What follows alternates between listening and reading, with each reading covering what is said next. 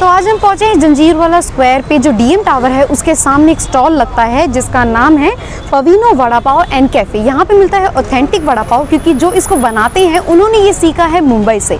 मुंबई की लाइफलाइन वड़ा पाव सीखने के लिए वो काफ़ी साल वहाँ रहे, और अब वो वहाँ के फ्लेवर बहुत अच्छे से जानते हैं। तो चलिए इनके वड़ा पाव को ट्राई करते हैं।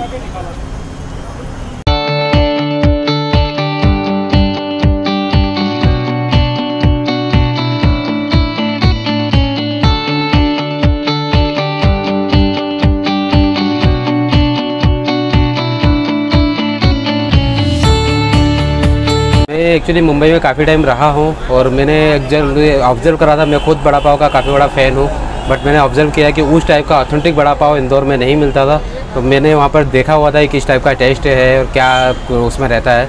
उस टाइप से मतलब मैंने इंदौर में स्टार्ट किया, क्योंकि ये भी एक तरह से मिनी इंदौर मिनी बॉम्बे के नाम से जाना जाता है इंदौर। तो बॉम्बे का बड़ा पाव इंदौर में और ऑथेंटिक टेस्ट के साथ स्टार्ट किया। ये मैंने लगभग वन ईयर बैक मतलब एक साल हो गया है, नवंबर 2019 में स्टार्ट किया था। फिर ड्यू टू लॉकडाउन हमारा दो तीन महीने मतलब ब्रेक रहा था तीन चार महीने। अभी वापस से हम लोगों ने जंजीर वाला स्क्वायर पर स्टार्ट किया है और कहीं ना कहीं लोग पसंद कर रहे हैं, सभी लोग जो भी खा रहे हैं वो ऑब्ज़र्व कर रहे हैं कि ये ऑथेंटिक बड़ा पाव मुंबई वाला टेस्ट है। और इसी के साथ अभी हम लोग और भी इसमें वेरिएंट स्टार्ट करने वाले हैं बहुत जल्द, जिसमें कि ये मायोनीज़ बड़ा पाव शेजवान बड़ा पाव चीज़ बड़ा पाव और उसी के साथ हम लोग कच्छ की फ़ेमस दावेली भी हम लोग बहुत जल्द स्टार्ट करने वाले हैं।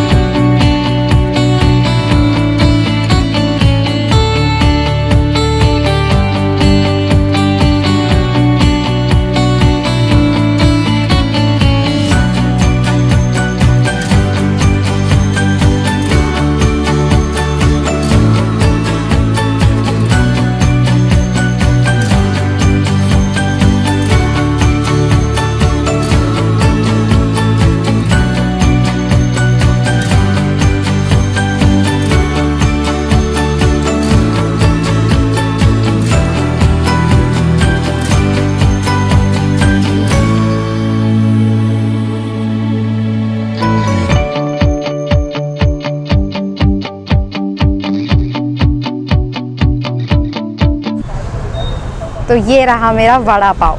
वड़ा पाव मैंने पहली बार ट्राई कर रही हूँ उससे पहले मैंने खाए हैं, लेकिन वो इस तरह से नॉर्थ इंडियन स्टाइल होता है, लेकिन ये मुंबई स्टाइल पहली बार ट्राई कर रही हूँ।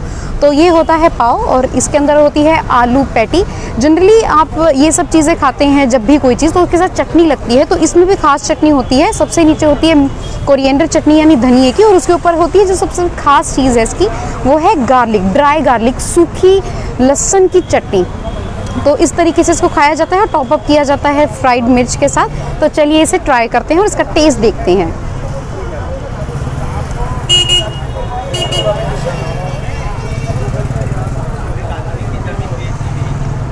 हम्म इसे मुंबई की लाइफ में यूँ ही नहीं कहा जाता। क्योंकि जब मैंने इसको पहली बार ट्राई किया है, इसका टेस्ट बहुत ही अच्छा है, बहुत ही बहुत ही फुलफिलिंग है, क्योंकि इसमें आलू है और साथ में उसके साथ में पैटी है, चटनी है तो ये कंबाइंड टेस्ट है, खट्टा मीठा सा टेस्ट है इसका। और फुलफिलिंग ये मुझे इसलिए लगता है लाइफ लाइन भी इसलिए लगता है, क्योंकि मुझे लगता है कि एक वड़ा पाव आपके लिए काफ़ी होगा। तो चलिए, मैं तो अपना वड़ा पाव ट्राई करती हूँ। आप भी मुझे बताइए कि आपने वड़ा पाव कहाँ ट्राई किया है?